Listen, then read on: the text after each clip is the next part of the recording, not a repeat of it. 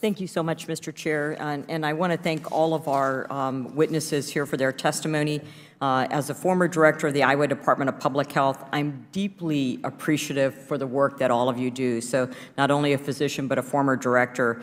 And in fact, I spoke on the floor of Congress in criticism of the latest COVID relief uh, bill that passed because less than one half of 1% of the total $1.9 trillion funding went to public health workforce, uh, and it could have gone to public health workforce and non-competitive uh, grants to local public health workforce, of which in Iowa there are 101 local public health uh, workforces, uh, county departments who did amazing work during the pandemic.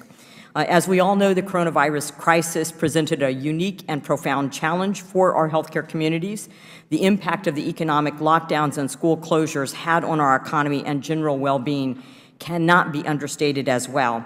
Uh, in fact, the World Health Organization found that government-imposed lockdowns can have a profound impact on individuals, communities, and societies by bringing social and economic life to a near stop. And this is especially true for our artery vulnerable groups. Last April, I wrote an article about the impact of the lockdowns that would have on excess deaths from cardiovascular events, from untreated uh, cancers, undetected cancers, cancers that were not continuing on their treatment use from increased drug use, addiction, and overdose, and from increased anxiety, depression, and unfortunately suicide. Uh, the United Nations Children's Fund has estimated that these lockdowns increase childhood poverty rate by 15 percent. Additionally, mental health problems are up 31 percent.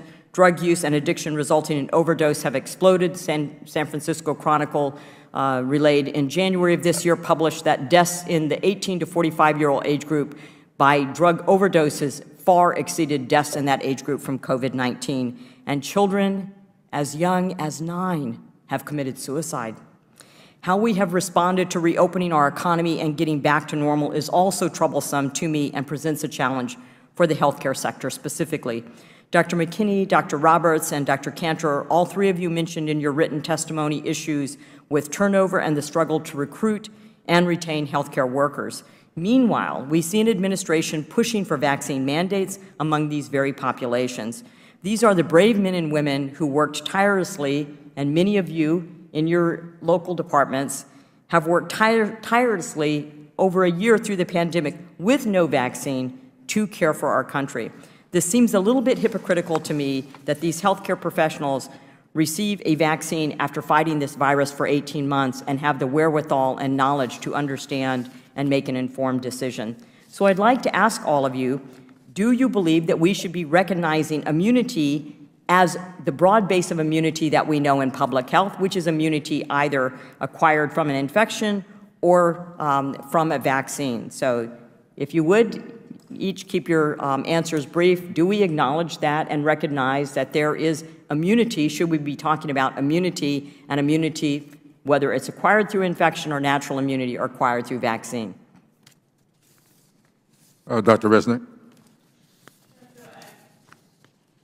I'm not a virologist, but I do want to uh, offer a statement that a, a, quote from Dr. David Thomas, chief of the Hopkins Division of Infectious Diseases, who stated that I would advise persons previously infected to consider adding vaccination if they haven't already received it. SARS-CoV-2 infection can kill and produce long-term side effects that no one wants. Vaccination remains the best way to be protected without experiencing the risk of infection. Well, I would say the recent studies that have come out from Israel do, in fact, highlight um, the uh, broad-based immunity uh, of uh, naturalized infection. No one is suggesting that people go out and get infected or have a COVID-19 party like chickenpox. So, um, um, Dr. McKinney? Yes, yes or no? I would be happy to happy to answer. Um, in in response to the Israel um, study, um, we are all very anxious to see more more data come out um, in in various studies.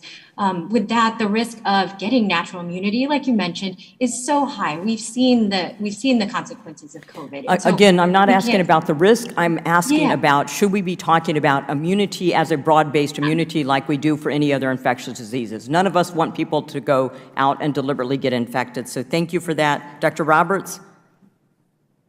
Thank you for the question. I would just add, as you mentioned before, that for um, vaccine mandates are very common in the healthcare sector, and for many of those, we do allow a um, natural immunity as an option if they can prove that. Thank you so much. And I, in fact, have a bill that uh, asks that we mandate uh, insurance coverage for testing for antibodies and T-cell antibodies so we can show proof of immunity. And then Dr. Kanter? Yeah, thanks, Rep. Miller Meeks. And I, respect you as a colleague, both as a doc and a state health officer, or former health officer. I, I, I agree. I think there needs to be more discussion. The data out there is um, somewhat inconclusive. Um, the Maccabi data, I think, has some selection bias issues. There's compelling data from Kentucky and Alabama that shows that natural protection from an infection is somewhat unpredictable. About a third of people that get natural infection might not mount an antibody response. There are also other viruses that we still vaccinate people for after they have an infection like varicella. So I think it's complex, um, but I advise my patients who had COVID 19 infection that they get more protection if they go and get vaccinated after that. So I think uh, testing for uh, the immune response would be a very valuable uh, piece of information in that data. So thank you, and I yield back my time.